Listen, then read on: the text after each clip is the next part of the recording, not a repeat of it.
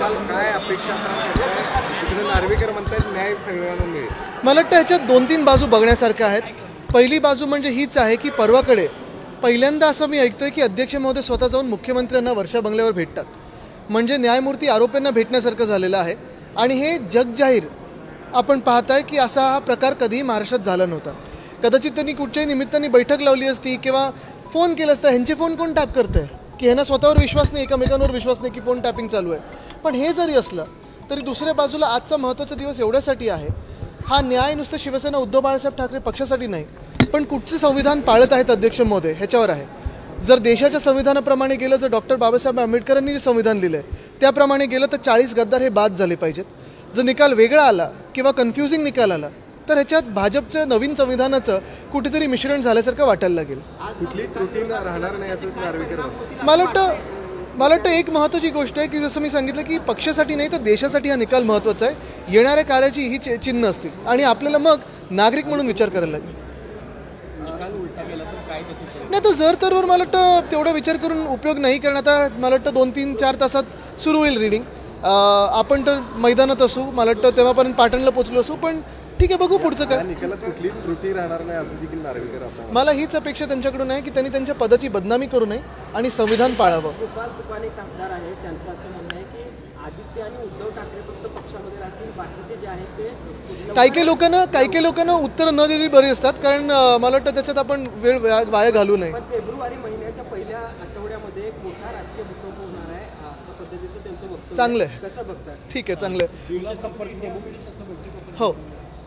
कोल्हापूरमध्ये आता इंडिया आघाडीची बैठक झाली चांगली बैठक झाली. सगळ्यांना एकत्र येऊन या देशाच्या संविधानासाठी लोकशाहीसाठी लढायचं आहे. आपण पाहत आहे की दिवसेंदिवस लोकशाही मारली जात आहे चेपली जात आहे. काल देखील आपल्यातूनच एक चॅनल देखील बंद केलेलं आहे. मला वाटतं आज आपण पाहत आहे की जे कोणी सत्यासोबत उभे आहेत जे कोणी पत्रकारिता देखील सत्यासोबत करत आहेत त्यांचं त्यांचा आवाज दाबण्याचा प्रयत्न होत आहे. त्याच्याविरुद्ध आम्ही लढत आहोत. मला वाटतं हे सगळे जर तर जसं मी सांगितलं अपेक्षा हीच आहे की संविधान जे डॉक्टर बाबासाहेब आंबेडकरांनी दिलेलं आहे त्याप्रमाणे निकाल यावा. जर वेगळा काही निकाल आला तर ते भाजपचं नवीन संविधान जे त्यांना लिहायचं आहे त्याप्रमाणे होईल. अध्यक्ष सीएमना भेटायला गेलं गेलं. तुम्ही आता सर्वोच्च न्यायालयात गेलं. सुनील प्रभूंनी याचिका दाखल केली.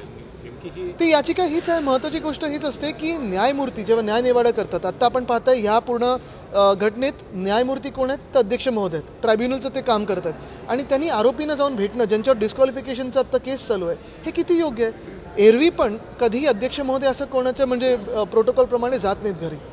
हे करत असताना दिवसा ढवळ्या एवढं जाणं प्रेसमध्ये आल्यानंतर देखील कुठेही न बोलणं मला वाटतं असं कधीही आम्ही राजकारण एवढं घाणेरडं पाहिलं नव्हतं. त्यांनी प्रतिक्रिया दिलेली आहे की त्याच्यामध्ये असं म्हटलेलं आहे की माझ्या मतदारसंघातल्या कामासंदर्भात मी गेलो होतो आणि अध्यक्षपद सोडून कितीतरी वेळा असे त्यांनी प्रतिक्रिया देऊ शकतात पण जे सत्य आहे ते सत्य आहे.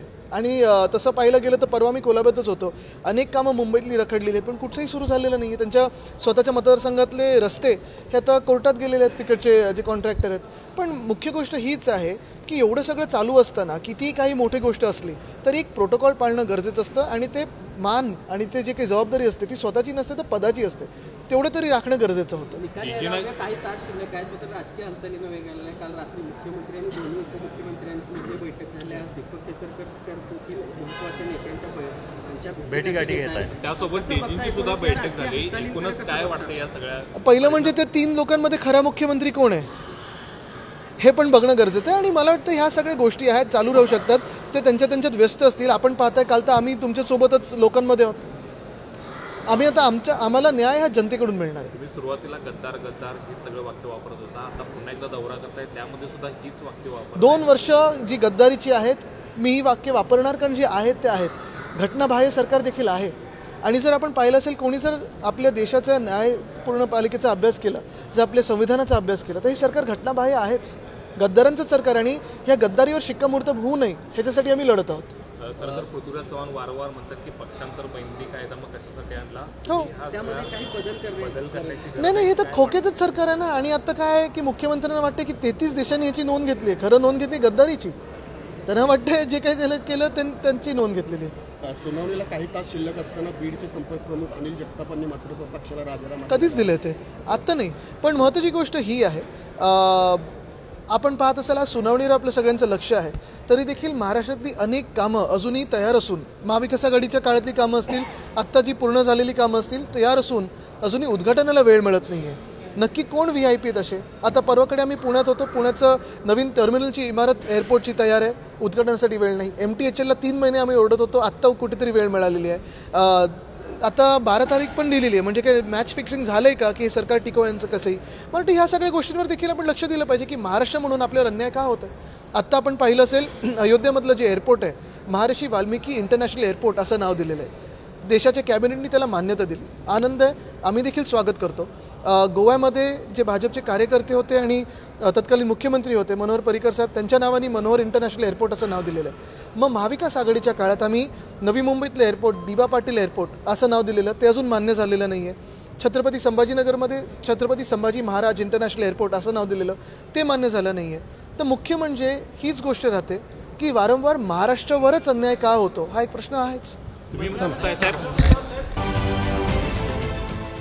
देश विदेशातील प्रत्येक घडामोडींचे लाईव्ह अपडेट मिळवण्यासाठी आता साम टीव्हीच्या सर्व सोशल मीडिया प्लॅटफॉर्मला लाईक फॉलो आणि सबस्क्राईब करा.